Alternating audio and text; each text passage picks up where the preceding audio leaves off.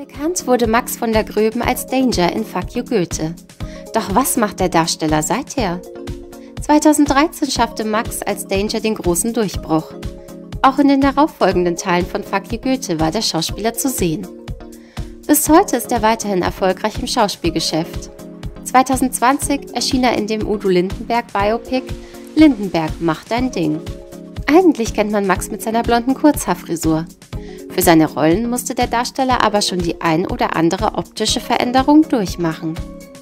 In Lindenberg macht dein Ding erscheint er als Steffi Stephan mit langer Mähne und Schnauzbart. Aktuell ist er als vorbestrafter Hooligan Marcel in der Serie Das Netz Spiel am Abgrund, die seit November 2022 im ersten läuft, zu sehen. Für die Produktion musste sich der Danger-Darsteller ebenfalls optisch ganz schön verändern.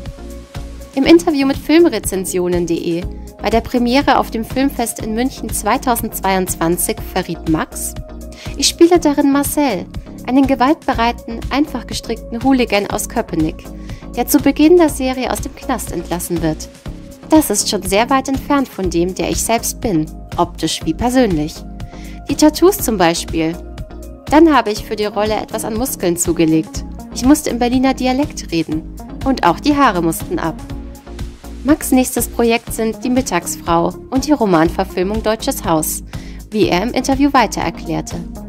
Im ersten Film übernimmt er die Rolle eines Nazis, im zweiten die eines Anwalts in den Auschwitz-Prozessen.